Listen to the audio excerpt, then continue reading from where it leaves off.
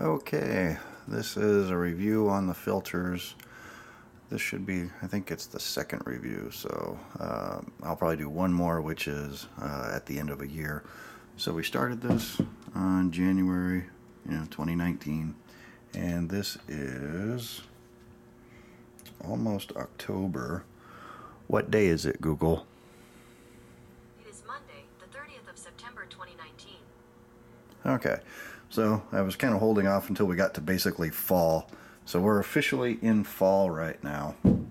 And as you can tell uh, from the last update, when we get most of the junk flowing through our water is almost always during the summertime. I don't know why, but it's just maybe the wells are shallower and they pump more mud or whatever happens. But we got a lot more junk flying through the lines. But that thing was not that dirty. I was kind of wondering if I think this is a 50 micron and might be better served with a 20 or a uh, mm, maybe even a 10 or something. But this basically catches all the really coarse, the flat out dirt, sand, grit, grime, and you can see kind of more of the solid junk down there at the bottom. And then we've got the 5 micron over here, and then that's the 1 micron right here. And the funny thing actually is, uh, I guess it indicates that our water over here is kind of more fine silt is the one micron gets a, a, discoloration before the five micron did. So that's kind of a little weird. It's not unusual for this one to get dark first uh, trapping the finer particles I guess. But it, this filter saves a whole lot of damage done to this. This used to be my frontline filter and it was just getting hammered. So I can probably reduce this down a little bit better but this is just a coarse filter I mean, if you were on a well this would probably be a washable stainless steel screen or something, but we're not quite that bad.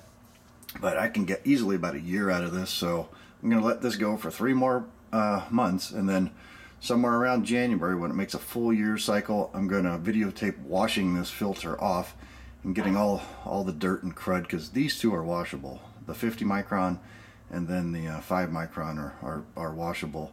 And this orange nasty clay crap, dirt, whatever, I don't know what it is, but it's just horrible comes off of there.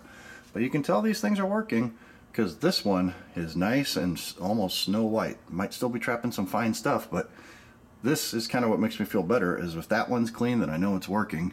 And when you go down here, this is the filter that's after the charcoal, if you're kind of familiar with how this is laid out.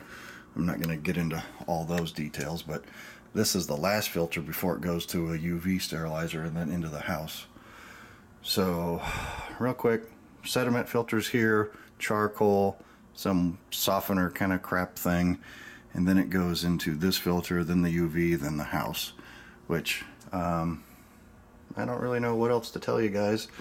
That's basically it, but I just wanted to show basically a little progression on these things about every three months, and uh, this one this one gets pretty nasty looking, so okay, see you guys when we come up on a year in January. So this is, I believe, the third video after the install.